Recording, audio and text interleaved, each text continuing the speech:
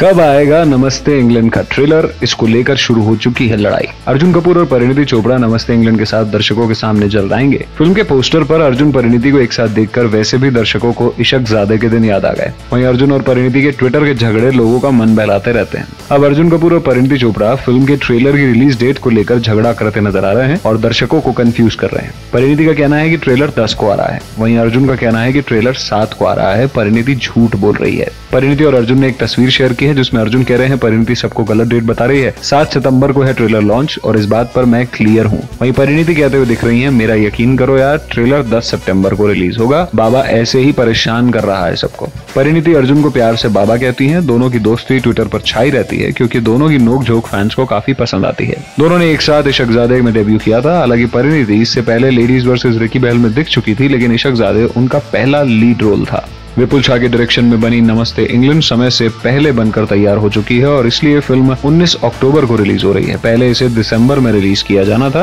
अब इन दोनों की नाव किस तरह से इस फ़िल्म से पार लगती है, ये बताएगा आने वाला वक्त और फ़िल्म का आने वाला ट्रेलर जो सात को आएगा या दस को, ये तो अपने आप पता चल जाएगा।